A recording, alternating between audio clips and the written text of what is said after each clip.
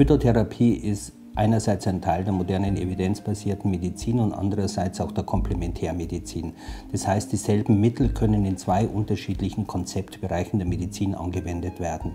Komplementärmedizin ist eher der Bereich in der Medizin, wo man den Menschen in mehreren Dimensionen betrachtet, häufig auch mit dem Begriff ganzheitlich zusammengefasst, während allein von der Methode her evidenzbasierte Medizin der Bereich der Medizin ist, wo es relativ einfach, wenn Geld vorhanden ist, klinische Studien durchzuführen, wo man sich zum Teil viel mehr mit isolierten Krankheitsbildern und einzelnen äh, Symptomen beschäftigt.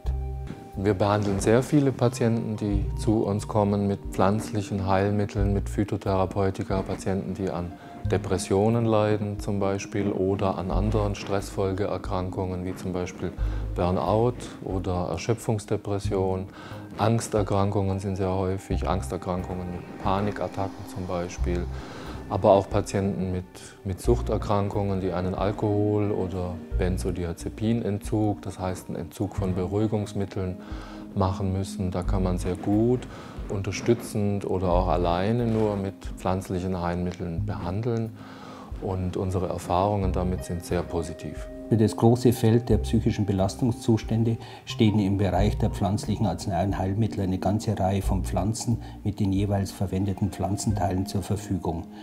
Die Auswahl von Pflanzen ist sicher immer auch durch kulturelle Traditionen geprägt. Bei uns in der Schweiz und im deutschsprachigen Raum ist sicherlich die Pflanze, die ganz im Vordergrund steht, das Johanniskraut mit den unterschiedlichen Zubereitungen.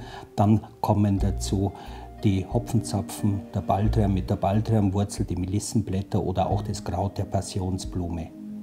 Die Erkrankungen sind sehr häufig und sehr verbreitet. Depressionen oder andere Stressfolgeerkrankungen wie das Burnout-Syndrom, die Erschöpfungsdepression, betreffen bis zu 20 Prozent der Bevölkerung. Das sind sehr viele Betroffene, die dann auch glücklicherweise zunehmend Hilfe suchen und sich in ärztliche und fachtherapeutische Behandlung begeben. Wir haben heute glücklicherweise sehr viele und breite therapeutische Möglichkeiten. Die Psychiatrie hat in den vergangenen zehn Jahren sehr große Fortschritte gemacht. Wir kennen natürlich die bewährten psychotherapeutischen Behandlungsmethoden, die immer individuell für den Einzelnen passend angewendet werden in unserer Klinik. Wir kennen bewährte medikamentöse Behandlungsformen. Hierzu gehören auch die pflanzlichen Heilmittel, die Phytotherapeutika, die, wenn sie richtig eingesetzt werden, äußerst nebenwirkungsarm sind.